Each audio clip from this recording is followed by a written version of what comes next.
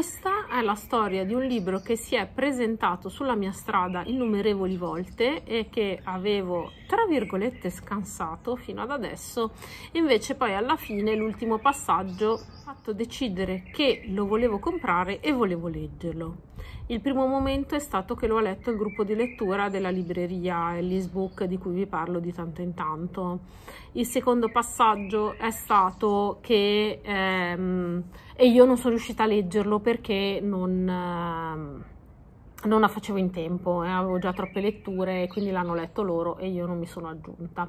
Il secondo passaggio è stato che sono andata al reading collettivo di questo libro a Book Pride e eh, nonostante piangessimo tutte alla fine ho deciso di non prenderlo. Il terzo passaggio è che questo libro è contenuto nella scatola di eh, Pensavi fossi una di romanzi.it e ad un certo punto mi era arrivato uno sconto incredibile per comprare quella scatola ma ho deciso di non comprarla. Poi alla fine questo libro ha vinto il Pulitzer. Io davanti al Pulitzer ho ceduto ho comprato eh, l'invincibile estate di Liliana. E quando ho saputo che lo avrebbero letto insieme nel giro di breve anche Teresa Bibuccalula e Miria di Book Hunter che saluto e che ringrazio per la compagnia ho chiesto di unirmi e quindi comprato e letto subito. E quindi ho fatto in modo di straziarmi il cuore anch'io con questa storia terribile. Eh, la storia sicuramente la conoscete in tanti perché se ne è parlato parecchio L'invincibile estate di Liliana è la storia del femminicidio della sorella di Cristina Rivera Garza, quindi l'autrice la ci racconta la storia di sua sorella Liliana, di che tipo di persona fosse e di come è finita vittima del suo ex fidanzato. La, eh, questo è un memoir che segue un andamento mh, non potrei dire insolito perché ogni memoir ha l'andamento suo che eh, gli è più proprio, ma ha un andamento tutto suo ed è costellato da tutta una serie di contenuti che eh, potrebbero non azzeccare l'uno con l'altro, ma l'autrice riesce a far stare insieme. L'autrice appunto mette insieme ricordi personali del suo rapporto con la sorella, suoi appunto riflessioni personali, appunti e eh, racconti di come ha cercato di ottenere giustizia giustizia eh, nei confronti di, di, questo omicidio, racconti degli amici di Liliana che la descrivono per quello che era e che aiutano il lettore a attraversare gli anni dell'università, perché Liliana ha studiato a Città del Messico architettura e quindi noi vediamo con le storie dei suoi amici dal primo giorno fino a poi appunto il, il giorno in cui è stata assassinata, ma non con i racconti di quello che succedeva, ma con i racconti degli amici, delle persone che l'hanno frequentata nel corso dei diversi mesi, che l'hanno conosciuta, che eh, sono andati, entrati in contatto con lei, che hanno fatto dei lavori insieme, che leggevano insieme, andavano al cinema, andavano in vacanza insieme. E anche invece eh, scritti personali di Liliana che era una grande ehm,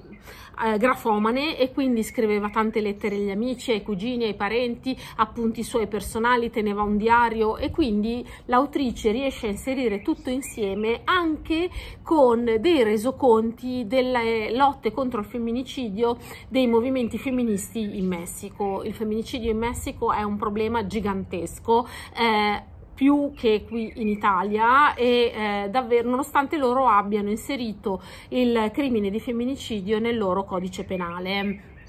L'autrice ci racconta appunto di tutta una serie di passi, di ragionamenti che sono stati fatti dai movimenti contro la violenza di genere, ma insieme ci mescola la sua storia personale e non ci racconta tanto del femminicidio della sorella, anzi riesce con una grande delicatezza soltanto a eh, dare gli accenni minimi indispensabili e però quello che fa l'autrice è presentarci Liliana, la persona che era, attraverso i suoi scritti personali e i ricordi degli amici e i propri ricordi, le sofferenze che lei e la sua famiglia provano dal giorno in cui Liliana è venuta a mancare creando un vuoto eh, incolmabile nelle loro vite e di come le loro vite da quel momento in poi siano state segnate dal fatto che eh, la sorella appunto è, è, stata assassinata e che il colpevole è riuscito a farla franca perché poi il colpevole non si troverà mai nel senso che loro sanno benissimo chi è ma non, la polizia non riesce a catturarlo e quindi non ci sarà mai un processo e questa è una storia comune a tanti altri eh, delitti di femminicidio perché eh, spesso il, um, il, colpevole riesce a farla franca. Qui siamo comunque negli anni 90, io voglio sperare che adesso anche in Messico la situazione sia migliorata quantomeno da un punto di vista giudiziario e anche della mentalità popolare e quindi che il femminicidio venga visto per quello che è, cioè un crimine, eh, una, un crimine di genere ma soprattutto che ci sia anche molta più consapevolezza all'interno della popolazione. Direi che anche in Italia le cose sono molto cambiate, per fortuna dagli anni 90, anche se c'è ancora tanta strada da fare. Quindi qui in questo memoir che ehm, è fatto per spezzare il cuore del lettore e non è un caso se piangevamo tutte quando c'è stato il reading collettivo, il eh, fulcro di questa storia è chi era Liliana e perché questa invincibile estate ha portato alla sua fine. Eh, L'autrice lo lascia intendere prendere tra le righe, lo dice soltanto poche volte che di solito ehm, una donna finisce vittima del femminicidio quando si sta definitivamente eh, staccando dal suo eh, carnefice, quindi quando quest'uomo prende coscienza del fatto che la donna in questione non è più una sua proprietà e quindi non basta fare la voce grossa o diventare violenti, questa donna è uscita dal suo raggio d'azione, ha preso coraggio, non è più spaventata e quindi non è più sottomessa, ma eh, ha scelto di fare una vita propria con altre persone, escludendo totalmente questo carnefice dalla sua vita vita e eh, liberandosene. Quindi in questo momento il carnefice prende coscienza di, eh, del fatto che le cose siano definitivamente cambiate, che non ha più il potere e quindi ehm, dà una ultima dimostrazione del proprio potere togliendo la vita alla propria vittima, vittima che non è la vittima di un momento ehm, che eh, così all'improvviso arriva, è una vittima che da mesi, anni eh, subiva eh, violenze, angherie di, ehm, psicologiche e anche ehm, di, di violenze fisiche la storia di Liliana non è diversa da quella di tutte le altre donne, anche se lei era una donna, una ragazza forte, molto corteggiata, molto apprezzata, ehm, a cui tantissimi volevano bene. Lei era una ragazza che riusciva a fare amicizia con tantissime persone, aperta, estroversa, generosa, che eh, spesso dava asilo ai suoi compagni di università, li invitava a dormire da lei se dovevano tornare troppo lontani, eh, li ospitava tutti a mangiare a casa sua, era una persona allegra, solare, brillante e di grande talento ehm, per quanto riguarda il percorso di studi che aveva scelto. Tantissimi suoi amici sono concordi nel dire che era portatissima per il, percorso di studi che eh, sarebbe stata un ottimo architetto proprio perché appunto aveva questo stesso spirito di risoluzione dei problemi che vedeva le cose in maniera diversa e la stessa cosa era nei rapporti umani. In più eh, appunto come vi dicevo cioè era una grande appassionata di scrittura e quindi troviamo nella storia qui proprio il suo punto di vista la sua voce lei che racconta se stessa alle persone a cui scrive scriveva, quindi le cugine, le amiche, quando era lontana in vacanza la vediamo proprio emergere la personalità di Liliana. Questa non è una storia di un femminicidio, è la storia di chi era Liliana, di questa sua invincibile estate che è, è, una citazione tratta da Camus che fa sì che lei, appunto, nonostante l'inverno, dentro di sé aveva un'invincibile estate, quell'invincibile estate in cui lei è riuscita a fare questo scatto, a liberarsi da questo suo carnefice una volta per tutte e poi questa cosa lui non gliel'ha perdonata, se possiamo dirlo in questo modo, e quindi le ha tolto la vita. È una mescolanza di tante cose. E quindi davvero bisogna mettersi davanti a questo libro con uh, uno spirito di aspettativa pari a zero, che non è quello che avevo io, ma in qualche modo sono riuscita a ricredermi e... Um,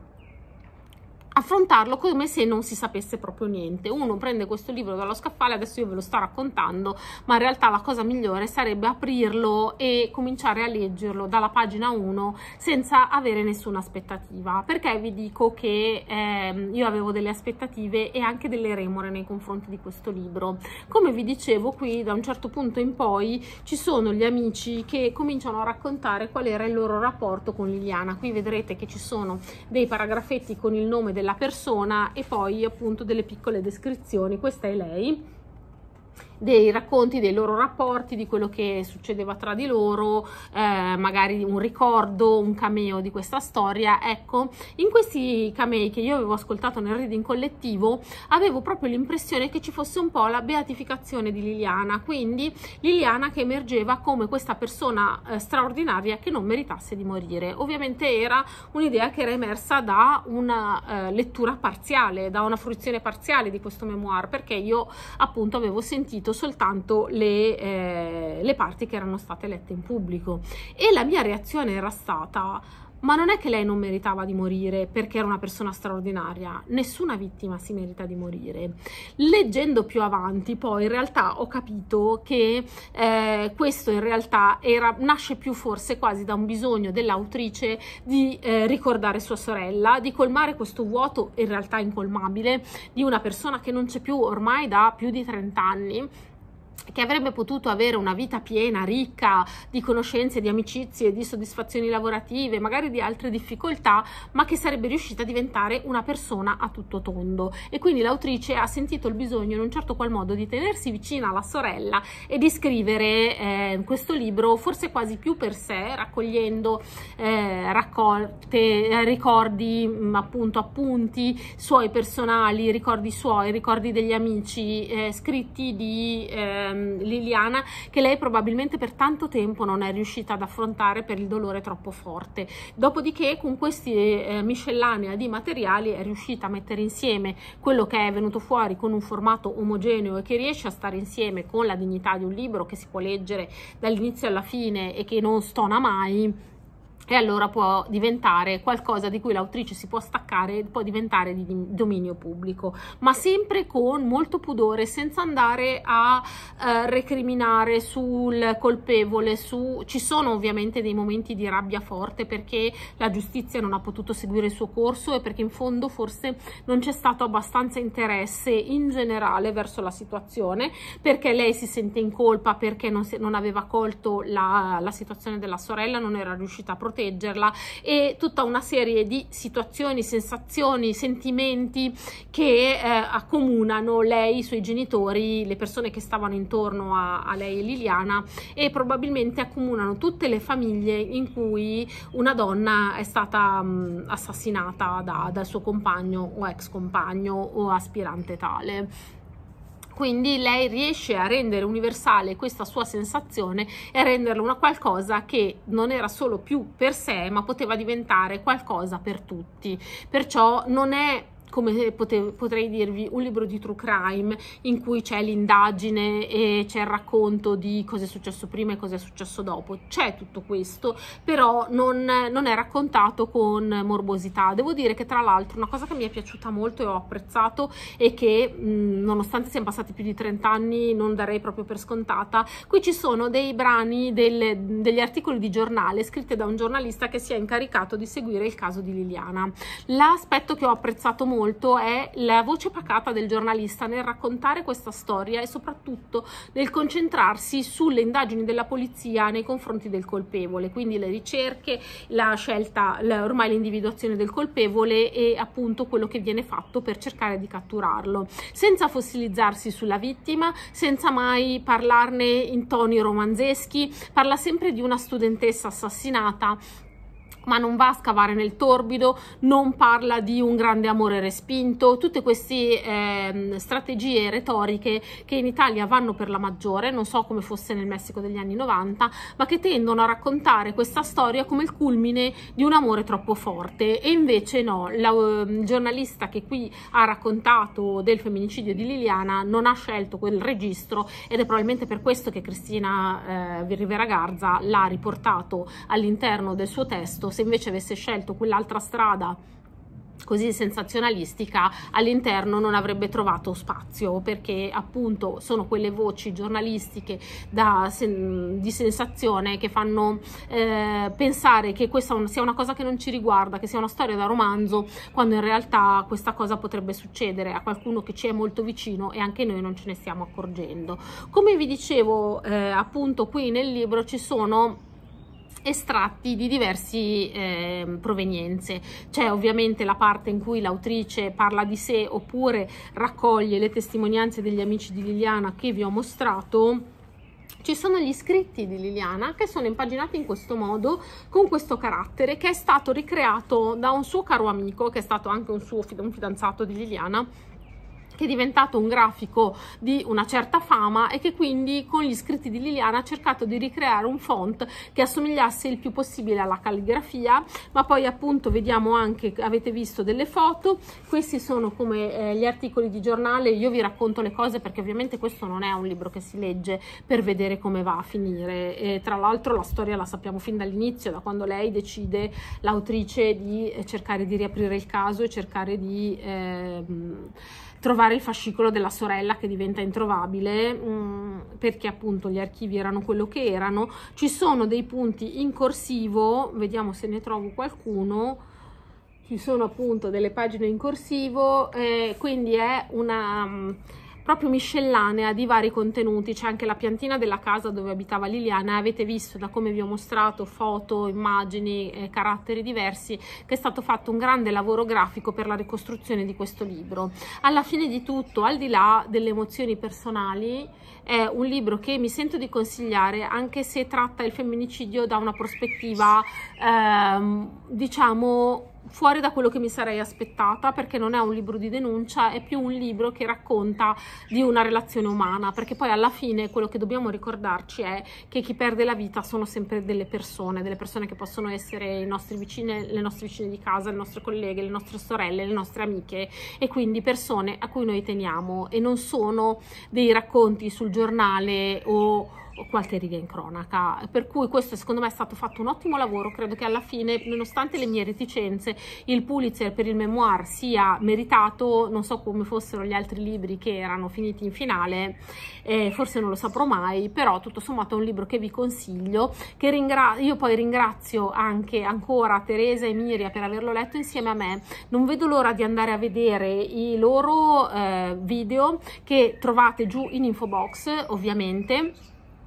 perché eh, appunto eh, oggi escono insieme anche loro, ehm, i loro resoconti, le loro impressioni su questo testo, un testo che come vi dicevo vi consiglio, nonostante sia fonte di enorme sofferenza, però ne vale la pena. Con questo chiudo perché appunto non vedo l'ora di andare a vedere i video di Teresa e Miria. Noi ci rivediamo lunedì prossimo per parlare ancora di libri e nel frattempo buone letture a tutti!